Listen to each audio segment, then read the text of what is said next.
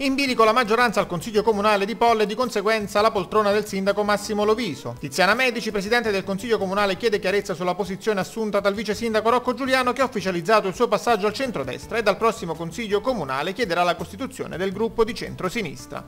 È doveroso da parte mia, si legge nel comunicato a firma della Medici, in questo clima elettorale avvelenato e confuso chiarire con forza che la presenza del centro-sinistra a Polla è forte e presente.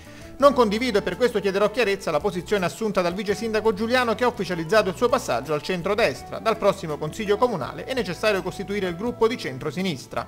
La lista Pollesi per Polla, spiega la Medici, si è presentata alle ultime elezioni politiche con una chiara connotazione politica, ovvero di centro-sinistra e non è ammissibile che ora qualcuno sbandieri la propria appartenenza al centro-destra. Per Gennaro Gonnelli, assessore della maggioranza, non c'è bisogno di alcun nuovo gruppo di centro-sinistra perché già nel corso dell'ultimo Consiglio Comunale è stato chiarito chiarito che la maggioranza è di centrosinistra. Di diverso avviso invece Walter Venosa, responsabile del Partito Democratico Cittadino, che invece ha sottolineato la necessità di creare un gruppo che faccia riferimento al centrosinistra all'interno della maggioranza per differenziarsi da chi di centrosinistra non è più. Il riferimento ovviamente a Rocco Giuliano. Si preannuncia quindi una primavera infuocata per l'amministrazione di Polla e la resa dei conti inizierà subito dopo le elezioni regionali.